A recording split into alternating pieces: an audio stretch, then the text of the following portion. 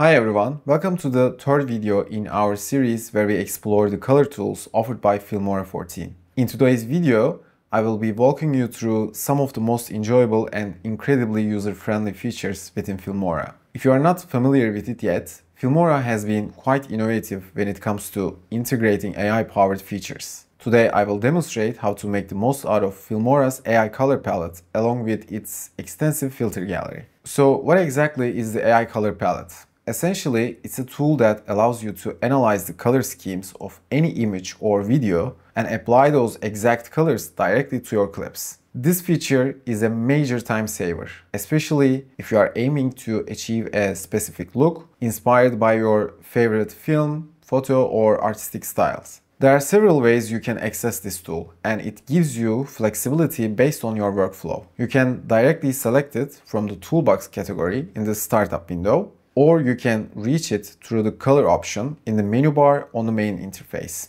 Another convenient option is to click the icon located just above the timeline and lastly you can find it within the color basic panel as well. The tool itself is designed for ease of use. First, select the clip where you want to apply this effect. After enabling the AI color palette feature, click on the Add button. Here you will encounter two options, Timeline and Local File. If you choose the timeline option, you can generate a look based on any image in your timeline. So it makes it easy to match scenes within your project. Click generate and then follow up by selecting save and apply.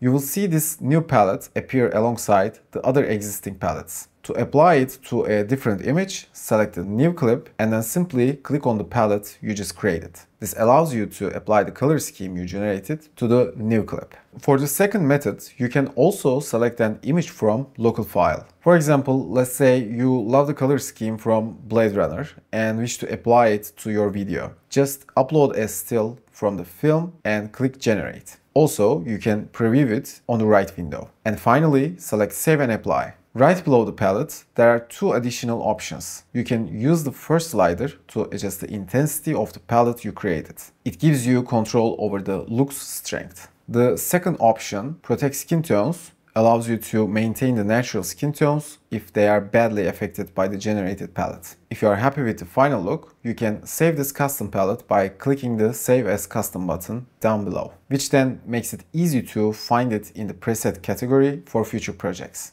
Both of these methods in AI Color Palette are quite useful. You can quickly create a palette with the footage on your timeline or you can select an image from your computer without even importing into the project. Either way, they are both very fast and effective methods. Next, let's explore the extensive filter gallery within Filmora. By selecting filters in the upper left menu, you will open a vast gallery of options organized into various categories. Here you will find dozens of filters and LUTs, each designed to help you achieve a specific look or mood in your videos. As an example, I will show you three filters that I like. But first of all, you should know that the different filters in this gallery won't fit every image you have. So applying every filter to your images will not give you perfect results. They are actually designed to capture the mood you desire, just to make your work easier. To get the best result, you still need to make adjustments after applying these filters. Let's start with an example. Click on the Feature tab. Here you can click once on any filter and preview the filter on the right. Click a second time and it will stop. I will choose one of my favorites, the 10 tone filter, because of its warm color scheme. I will drag it onto the timeline and you can see how it brings out the model's features and enhances the colors. Also, it makes them more vivid. If the filter feels too strong or doesn't entirely match the footage, you can adjust its opacity on the right side to control its intensity. Below that, you will see the Protect Skin Tone slider again, which can be used if the effect changes skin tones in a way you would like to avoid. By clicking on this icon, you can also create a mask to apply the filter only to certain parts of the image. For instance, if you want the filter to only apply to the model, you can mask around her and adjust the feathering to blend the effect. This is before and this is after. Additionally, you can invert the mask if you want to apply the effect to everything except the masked area. So, as I mentioned before, Filmora's filter gallery is impressively comprehensive.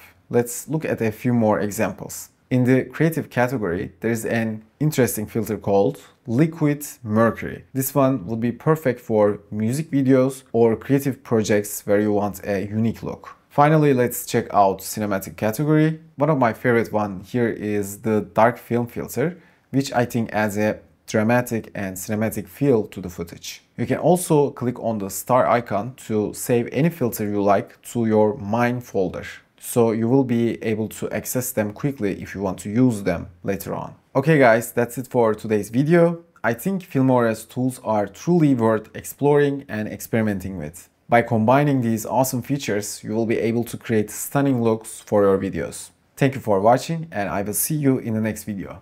Take care.